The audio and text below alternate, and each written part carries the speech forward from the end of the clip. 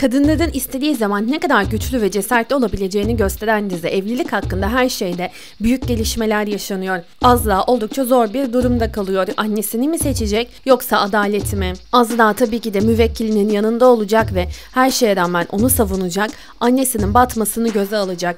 Ama Azra'nın annesini kurtarmak için daha büyük bir planı olacak. Bu da Azra birikmiş bütün parasını annesine verecek ve annesi hukuk firmasını Azra'nın parasıyla kurtaracak. Diğer taraftan Azra resmi olarak artık Sergen'den boşanıyor. Ama Sergen işi yokuşa sürecek. Sergen'in her ne kadar adı çıkmış olsa da kimsenin elinde bir delil olmadığı için Sergen böyle bir şey yapmadığını söyleyecek mahkemeye ve mahkemesi ertelenecek. Azra bu süre zarfında Sergen'in yaptıkları hakkında delil toplamaya başlayacak. Diğer taraftan Sergen'i araştırdıkça Azra yıllarca nasıl yanlış bir adamla evli olduğunu da keşfetmeye başlayacak. Yıldırım ise bu dönemde Azra'nın yanında olacak. Evet arkadaşlar sizce Azra kocasını boşamalı mı yoksa her şeyi sineye çekip çocukları için bu evliliğe katlanmalı mı? Fikirlerinizi bekliyorum. Aşağı yorum olarak yazın. Kanalımız Herkes Şoka'da abone olun. Hoşçakalın.